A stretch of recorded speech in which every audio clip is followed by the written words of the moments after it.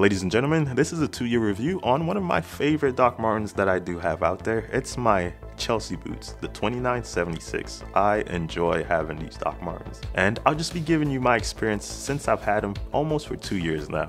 I'll be talking about my first impressions, why I got them. Also, I'll be talking about how I found my Doc Martens size, and then I'll be talking about how I care for these Chelsea boots. I'll be showing you the soles of these Doc Martens so that you can see how they've been keeping up so far. And lastly, I'll just do a general overview of them. Some pros, some cons, some things that surprise me. So the question is, are these worth it? So my first impressions of these Doc Marten boots, the reason why I got them, like I always say, I just wanted something different. So I decided to go with the Crazy Horse Chelsea boots without even the Doc Marten stitching or nothing. I just wanted something that was hella different. And believe it or not, I was very surprised. The reason being is because the Crazy Horse leather might be one of my favorite leathers out there. I'll go more in depth in this later, but man, once I got these, they just look amazing. That brown texture and everything else just made it pop for some reason. When it comes to finding my Doc Marten size, to some people, this can be very challenging, but for me, the easiest and even what I would recommend to a lot of people if you have a Doc Marten store or a store that sells Doc Marten around you, please go there, try some Doc Martens on, see what size fits you because that's the best way you can find your Doc Marten size. I have videos up here that can assist you in things like that, but I promise you the easiest way to find your Doc Martens is to go to the store and try them out because that's what I did. When it comes to my Chelsea boots, I already had what 1460s, my first pair of Doc Martens. So I went, tried those on, they fit.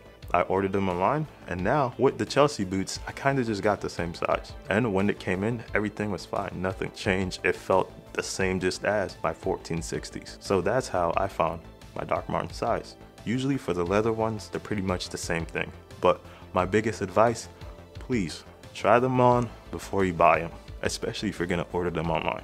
Breaking into these Doc Martens was a little unique, simply because you have to break into the leather and then also you have to break into that little elastic thing because the first time I put these on I think I almost caught a cramp in my calf. Like literally that elastic it was tight I'm not gonna lie it was tight. Trying to wiggle my feet in there and put it in there was difficult and then taking it off oh my days that was another one. It was difficult too like that process was interesting let's just say that. And that kind of made me not put them on as much when I first got them just because I knew I had to like struggle trying to fit, put my foot in there and then struggle trying to take them off. But some of the pain points that I did have with these, like actually breaking them in was, where is it, like the bridge of my foot, that area, for some reason they were hurting after a while and it was just weird. Like I just felt like there's nothing I can do with that except for just take them off and then put them on when my feet feel better.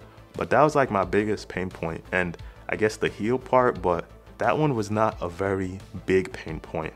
Also, when it comes to like breaking into these, I don't even know if I recommend two socks because I had one sock, just trying to put my foot in was hard. Imagine having like a thicker socks. How's that gonna compare? But yeah, breaking into these were interesting, but eventually they were broken into. The care for these Doc Martens, they're different. Since they're crazy horse leather for me, I just like every grain and everything that's on there, like the scratches and everything. I just like that character of this leather. So I didn't like damp anything to wipe it off or anything like that because if you do, your crazy horse leather will get darker.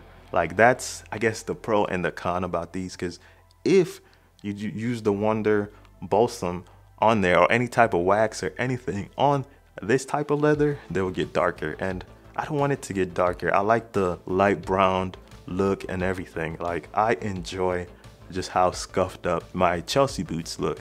Literally, for me, it's character. This is the sole of these.